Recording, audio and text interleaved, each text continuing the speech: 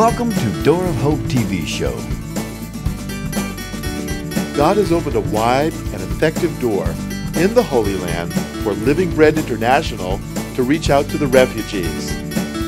Living Bread International is serving God in ancient Jericho, Bethlehem, Hebron, Jerusalem, and throughout the good land flowing with milk and honey.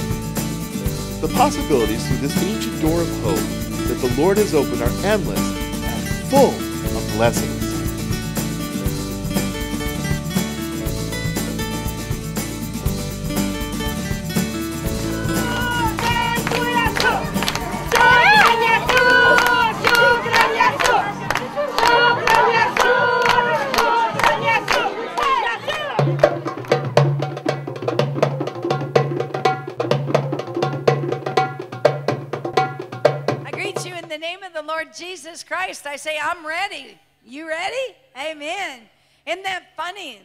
Work of your hands and the walk of your feet, Sherry. Yeah, because some new doors are opening up. Um, that, you know, and just be in prayer for Sherry, and I'm sure Elvin, the work of your hands, be in prayer for Elvin. Walk of your feet, work of your hands. That's establishing the walk of your feet and the work of your hands. Yeah. We say, yeah. Yeah, we tarry till we've been clothed with power from on high and let the Lord establish our walk and our talk and fill our backpacks full of oil. I say yes and amen. Wow, great prophecy. Nadine, keep seeing. Yeah. Amen. Well, holy and righteous Father, I thank you. Today is about you. And I thank you, Lord. We're going to go wherever you want to go. She just prophesied she saw the king walk into the house. And I felt something shift. I mean, I felt there was a lot of activity going on. You know, some were late, some were coming for business. I mean, there was just a lot of activity going on. And I thought, Lord, there seems to be a whole lot going on. But I just feel like Patrick said yesterday cloud by day and fire by night. There's something about that fire by night coming our way. Something about that fire. Yeah, something about burning in that fire. Amen? And when he said that, yeah, cloud by day, fire by night, I thought, whoa. And God's saying, take the night shift. Amen. Take the night shift. Yeah. Shift, shift, shift. And we say yes and amen. We're going to take the night shift. Amen. So I kind of I want to give you some scriptures today. And then I want uh, Alvin and Sherry to come up and lead, lead us in that song, Let the Fire Fall. Because I feel the Lord's going to unlock something today that is just going to carry us into the Monday night watch. Amen? Yeah, yeah, yeah. And 1 Kings 18, yeah. And it came to pass after many days, the word of the Lord came to Elijah in the third year, saying, Go present yourself to Ahab, and I will send rain on the earth. And Elijah went to present himself to Ahab, and there was a severe famine in Samaria. And Ahab had called Obadiah, who was in charge of the house. Obadiah feared the Lord greatly. So it was while Jezebel massacred the prophets of the Lord, Obadiah had taken a hundred prophets and hid them, fifty to a cave, and fed them bread and water. And it says, And Ahab said to Obadiah, Go into the land of all the springs of the water and to all the brooks. Perhaps we may find grass to keep the horses and mule alive, that we will not have to kill any livestock. And I feel, you know, there's been some seasons where we've just been out there kind of looking for some grass. I mean, there's been some dry seasons. Like, wow, where are we going to find some grass, Lord? You know, and it said it hadn't rained, and we've been doing rain dances.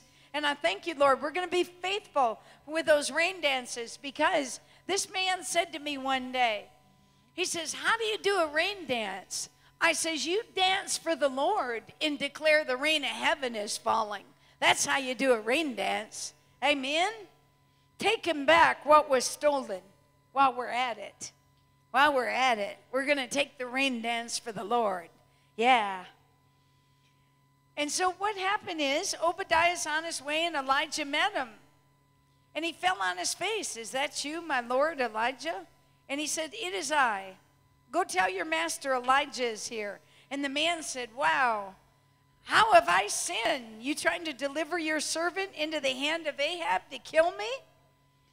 And he says, in verse 11, he says, And now you say, Go tell your master Elijah is here? He says, It'll come to pass as soon as I'm gone from you. Look at this. The Spirit of the Lord will carry you to a place I do not know. Is that amazing? It, the Spirit of the Lord's going to take you to a place I do not know. I mean, the Lord must have been lifting these prophets up and down back then. Because he said, You know, I'm going to go tell my master, you're here, and the Spirit of the Lord's going to put you on another place. And it says, Was not it reported to my Lord whom I, what I did when Jezebel killed the prophets of the Lord, how I hid them? And I'm paraphrasing a little in verse 14 Go tell your master Elijah's here, and he will kill me. And Elijah said, As the Lord lives, I will surely present myself to him today. And then Elijah goes to meet Ahab. And Ahab said, Is that you, O troubler of Israel?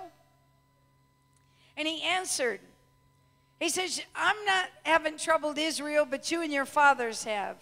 And look at verse 19. Gather all of Israel to me on Mount Carmel, the 450 prophets of Baal, the 400 prophets of Asherah who eat at Jezebel's table. And Ahab sent for all the children of Israel and gathered the prophets together on Mount Carmel. And Elijah called to the people, How long will you falter between two opinions? If the Lord is God, follow him. But if Baal, follow him. And the people answered not a word. And so then he said, Let's give us two bowls. And let's choose one bowl for themselves and cut it to pieces. But put no fire under it, and I will prepare the other bowl and lay it on the wood but put no fire under it. Then he says, You call on the name of your gods, and I'll call on the name of the Lord. And the God that answers by fire, he is God. Come on. The God that answers by fire, he is God. And I feel there's a showdown in the spirit today. And I feel that there's something shifting in the spirit today. And it's almost like the Lord's saying, if Baal can send fire, then call upon Baal. But if the Lord God of Abraham, Isaac, and Jacob is the one that sends fire, then call upon the living God for the fire to fall. Because there's a showdown, and the enemy's about to be busted up and burn up by the fire of God. Yeah. And so they go on, and, and it says that they went, he put a bull, and he put no fire on it. And they took the bull, and it was noon. Oh, Baal, hear us. And I want to tell you, you might be calling out to Buddha. You might be calling out to your God. But if you're not calling out, oh, Jesus Christ, oh, Holy Father, in the name of Jesus, you're calling on deaf ears. But when you call upon the living God, something happens. And it says, they, they all the way to noon, they kept crying out for their God. And I've told many people that have come up to me, and they said, I'm very, very sick. My child's sick. My boy's in prison. And I say to them, how long you going to call on a God that doesn't answer? How long you going to call on a God with deaf ears? I said, it's time to call upon the living God. You want to see a response? You call upon the Father in the name of Jesus and watch the heavens open and watch your baby be healed and watch the fire fall and watch your kid come out of the prison. And it says right here, and oh, Baal, hear us and they leaped about the altar they made. And Elijah started to mock him and said, Cry louder, because if he's God, he's either meditating or he's busy or he's on a journey. Maybe he's sleeping. You know, he said, Maybe your God's sleeping. Our God ne- neither sleeps nor slumbers. Amen? And they cried aloud and they cut themselves, as was their custom, with knives and lances and the blood gushed out of them. And I want to say something. This is a picture of dead religion.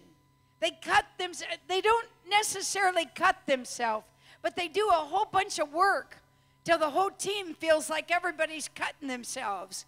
You know, it's just a whole bunch of dead works. And that's what dead religion looks like. And they're crying and they're trying to get heaven open. And what it really feels like in the spirit is they're cutting up themselves, trying to get the attention of their God. And it says here, they cried aloud, cut themselves until the blood gushed out. And watch this in verse 29. When midday was past, they prophesied until the time of the evening sacrifice. Evening sacrifice. There was a shift from the day into the night because now it was an evening sacrifice. Yeah. And it says, Elijah said, Come near to me. And all the people came near to him. And it was the evening sacrifice. He repaired the altar of the Lord that was broken down. Now, come on, it was no longer midday, now it was evening. The night had come. Elijah took 12 stones, according to the number of the tribes of the sons of Jacob, to whom the word of the Lord had come, and said, Israel will be your name. Then with the stones he built an altar in the name of the Lord, and he made a trench around the altar large enough to hold two seahs of seed. He put the wood in order, he cut the bull in pieces, and he laid it on the wood. And then he said, Fill four water pots with water and pour it on the burnt sacrifice and on the wood. What's so amazing is this was a, a severe famine in the land and it hadn't rained. And now he's taken these four water pots. It's so interesting. The other day, God told me to buy four water pots. They're sitting right there by the back door. He said, Buy four water pots. Isn't this interesting here? Yeah. Hallelujah. You know, sometimes God just tells you to do something and you just do it. You know, look what he told Ezekiel cut your hair and go burn some of it in the fire. I mean, you just do what God says. The other day he says, Buy four water pots. Wow. And pour it on the burnt sacrifice and on the wood. Then he said, Do it a second time. And they did it a second time. Then they said, Do it a third time. And I'm just thinking of all this precious water being poured out on the sacrifice in the time of famine, in the time of famine and drought. So the water ran around the altar, and he also filled the trench with water. And it came to pass at the time of the offering of the evening sacrifice that Elijah the prophet came near and said, Lord God, of Abraham, Isaac, and Israel, let it be known this day that you are the God in Israel, and I am your servant, and done according to your word. Now, I feel that we can prophesy, Lord God, you are the God in Israel, and we at Living Bread are your servants and are doing these things according to your word. They move the shift from the morning to the evening sacrifice. They got the four water pots. They're already in the house, people. This is pretty exciting. And it came to pass at the time of the offering of the evening sacrifice. Yeah, at the time of the evening sacrifice. Ooh, I feel the fire falling already. Yeah. And what you don't know out there, God just told us to shift our morning watch to the evening. Now, he just told us to do it two days ago. One day ago, wasn't it? One day ago. And now here he's given us this word. They shifted. It was the evening sacrifice, and the fire began to fall. Yeah. Yeah. Yeah. Wow. Wow. Elijah the prophet came near and said, Lord God of Abraham, Isaac, let it be known that you're the God in Israel. Hear me, O God, hear me, that the people may know you are the Lord God and you have turned their hearts back to you. You know what? I just want you to know is we take this evening sacrifice. We're starting Monday. as we take the evening sacrifice, I feel there's going to be a shift and the hearts of the people are coming back to the Lord. I feel people are going to come off the streets. I feel that the house is going to be full. And I feel that God is about to pour out some holy fire on a dry and thirsty people. Yeah, yeah. In the name of Jesus, it's going to happen. He says, Hear me, hear me, O Lord. These people may know that you're the Lord God, that you have turned their hearts back to you again. Whoa! Then the fire of the Lord fell and consumed the burnt sacrifice and the wood and the stones in the dust, and it licked up the water that was in the trench. Wow. Wow. And I just feel, you know, those rain dances bring the water, and then the fire falls. Amen? Amen. And when the people saw it, they fell on their faces and they said, The Lord, He is God. The Lord, He is God. They, been to, they started making that sweet confession The Lord, He is God. The Lord, He is God. Amen? This is just totally, totally awesome. And then Elijah said, So we can see prophetically what God's doing, even starting with the four pots. Before he had us just go buy four pots. When was that? Two weeks ago? One week ago? One week ago. We got four pots sitting there. This is just amazing. It was amazing. Wow.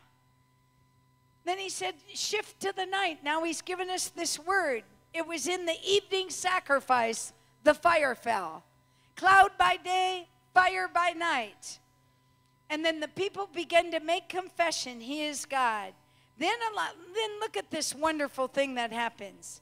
Seize the prophets of Baal. Don't let them escape. So they seized them, and Elijah brought them down to Brook Kishon and executed them, them there. And then Elijah said to Ahab, Go eat and drink, for there's an abundance of rain. Look at that order. The fire falls. Uh, amen the fire falls, right? The enemy, the spirit of false prophecies destroyed, the Baal's destroyed, the prisoner, the, the one that's holding the people prisoner, you know, could be depression, uh, uh, all kinds of things. Perversion, it all falls, okay? They're executing the enemy, and then Elijah says, Come on there's an abundance of rain. Yeah. Wow. Can you see the picture of what we're moving into? Can you see it, people? Come on, can we grab hold of this as a team? We're shifting from the morning to the evening sacrifice. Yeah, the fire's gonna fall, the enemy's gonna be destroyed, and there's gonna be an abundance of rain. And look what it says for there is the sound of an abundance of rain. And I feel it's in the sound. You're going to feel that abundance of rain. The sound of heaven is coming through the fire. The sound of heaven is coming through the fire. Look at the order. Look at the holy order of God. Yeah, yeah. And then he says, wow. And then he went to, he got into a birthing position. And he said to his servant, Go up and look towards the sea. And he said, There's nothing. And seven times he said, Go again. It's interesting, he told them to look towards the sea, S E A. And I'm feeling the Lord saying to the team at Living Bread, Look and see, S E E. Look and see. There's an abundance of rain coming. And that we'll have to ask him what the seven times means. And it came to pass the seventh time there was the cloud, as small as a man's hand, rising up out of the sea.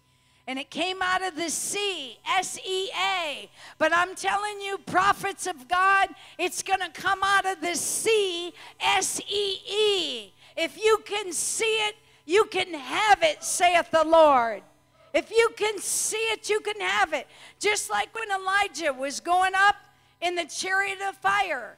And Elisha said, Please let me have a double portion of your spirit. And he said, This is a hard thing you ask, but if you see me when I go up, you will surely have it. And God's saying to the prophets of God, if you can see it, if you can see the rain coming, you can have it, says the Spirit of the Lord. If you can see it coming, you can have it, says the Spirit of the Lord. Come on. There was a sound of rain, a sound. It says a sound of abundance of rain. Yeah, this is so amazing. This is our season. We're looking at our season, you guys. We're looking at walking in the fire. We're looking at the sound of rain coming. We're looking at just being in the abundance of rain. It's coming. It's our season. It's the promise of God. It will surely happen. It will happen. Yeah. And then look what happened. He in 44, he passed the seventh time. There was a cloud rising up, and he said, Go up to Ahab, prepare your chariot, and go down before the rain stops you. Now it happened in the meantime, the sky became black with clouds, and there's a heavy rain. And Ahab rode away to Jezreel. And look at this. Guess what happens then? Woo! This is hot the hand of the Lord came upon Elijah and he outran the chariot. Come on, the exploits come in the abundance of rain. The supernatural comes in the abundance of rain. Come on, he's outrunning a chariot. What a season. Come on, what a God. What a season. What a God. Yeah, this is good news. Come on, we're going to stand on 1 Kings 18 this entire season. We're going to watch the fire fall. We're going to watch the abundance of rain come. And we're going to watch exploits happen. And we're going to watch the enemy be defeated in the name of Jesus. What a season! What a season! Hallelujah. Lord, we just thank you. Let your fire fall. And maybe you're dry and thirsty out there. Maybe you've never experienced the rain of heaven or the fire of God. Well, I want to tell you here's an invitation. Come to the city of the great King and drink the rain of heaven with us and just stand with us shoulder to shoulder as the fire falls as the fire falls, because the fire is surely going to fall in Jerusalem. The fire is going to fall, and there's going to be an abundance of the sound of rain. It's going to happen, and exploits are going to break out in the name of Jesus. In the name of Jesus. Yeah. Yeah. Now, I've. The Lord bless you and keep you and make his face shine upon you. In Jesus' name. Amen.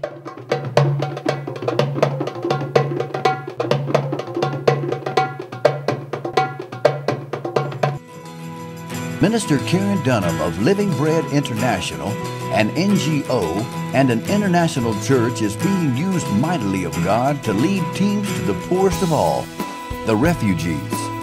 There are 27 refugee camps in the Promised Land. The people are in need and not forgotten by the Most High God. His arms are stretching down to the deepest depths with conquering love that is melting hearts and releasing hope. This is a place of joy in God where you know His perfect will as you bring Him pleasure. You too can labor in this sweet spot of His Spirit. Destiny will rise up and you will never look back as He stretches His arms out through you with conquering love flowing in all you do. You can sow into heaven as you pray into the move of His Spirit, as you fund the Lord's desire to reach the poor. Sow your faith seeds unto the Most High God and reap the heavens where His grace and favor freely flow.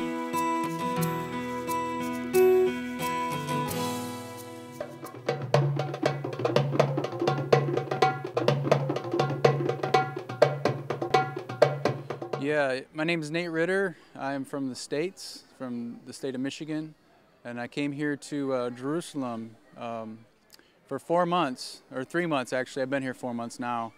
I extended my stay for an additional year, and I've got to, I came here with not knowing what to expect in the Middle East, never been to the Middle East before. Um, and so I've got to experience the Jews and the Arabs. And uh, one of the one of the pleasures of being here was experiencing Karen's ministry, Living Bread. Um, it blows my mind what they do here, and uh, they're just taking care of the poor and loving on the orphans and widows and the things that Jesus told us to do, but put it into practical use. And um, so I, I, love the ministry and anything to do with it. I, I just want to find time to serve if I can, and it's just it's a real blessing. Uh, they they do so much for the world, and like today I, I got to hear Karen speak for a little bit, and she just reminds you of how the Lord sees everybody, the young, old, uh, the babies, the blood that's shed. The Lord doesn't let any of that slide. He knows everything that happens, and He loves us all. He um, He predestined us, and so it's good to see that people are cared for. The some of the, the refugee camps and stuff that they take care of the people there. Um, these are the these are the ones that are neglected by so much of the world, and they take the time out to love on them, and that's to me that's the gospel. So it's um, I love it. It's a, it's a pleasure.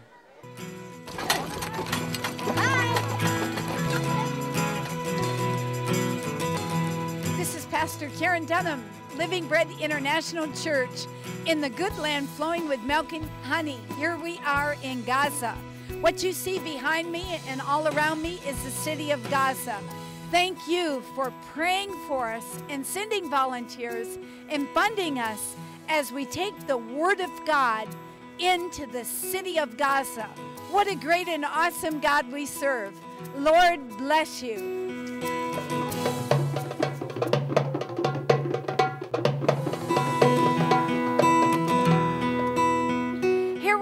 In Jerusalem, the city of the great king. We have moved our corporate offices to Jerusalem. I want to say thank you, God. Thank you out there for sending volunteers. Thank you for praying for us. Thank you for funding us. And I just want to say thank you from Mount Zion. Lord bless you.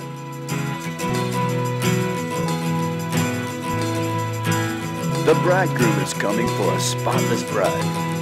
Join with us in this glorious celebration. Your support is making a difference. Thank you for watching Door of Hope.